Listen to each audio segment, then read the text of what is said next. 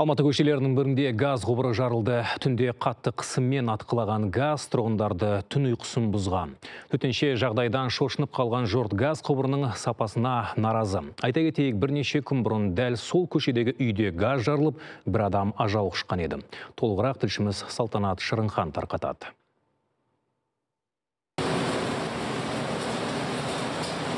Жарымында болған оқыс оқиғаны тұрғындар қорқынышпен еске алады. Сырттағы дауысты естіген олар іле шала далаға шығыпты.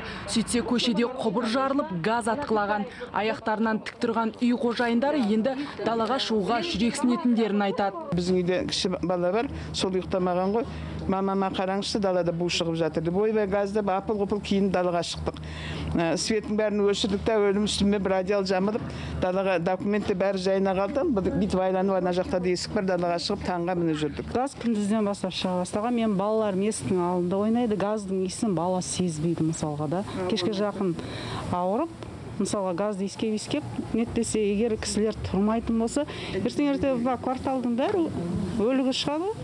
Газбен уламыз Айтуларынша бірнеше күн бұрын да осы көшеде қайғылы жағдай болған, яғни көршіде газ жарылып, дүмпу іштегі барлық бөлмені шарпыған. Соның салдарынан есігі жұлынып, терезесіне дейін қираған, ал жуынатын бөлмеде болған үй иесі денесін қатты күйік шалып, ажал құшқан.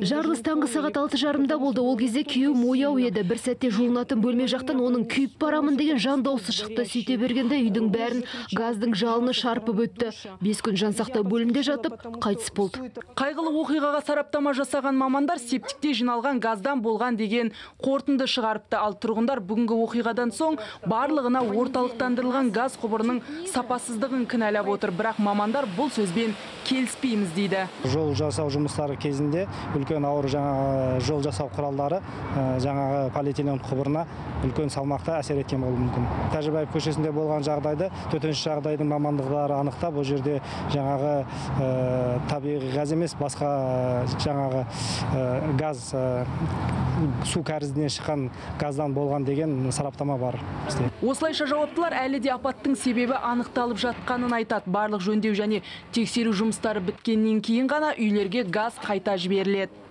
Салтанат Шырынхан, Думан Дәулетбақұлы, Ержан Еркінбеков, КТК, Алматыдан.